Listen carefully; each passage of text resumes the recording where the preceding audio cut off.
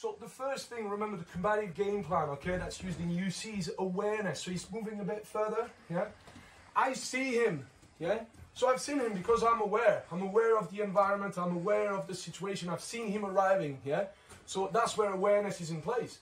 He's coming towards me. He's got a problem with me. My hands come up. Now I am controlling the situation. That's called situational control, management of personal space. I don't want him to get that close to me.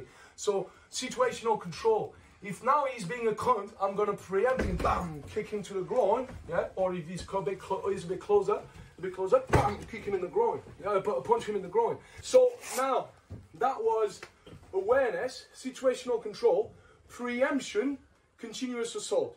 So preemption, preemption, yeah.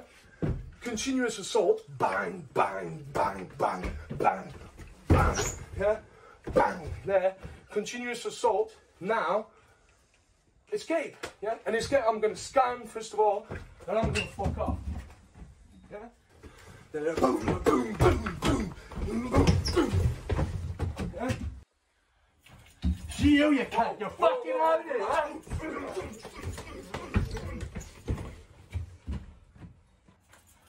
Fuck you, you cunt. Fuck you, you cunt.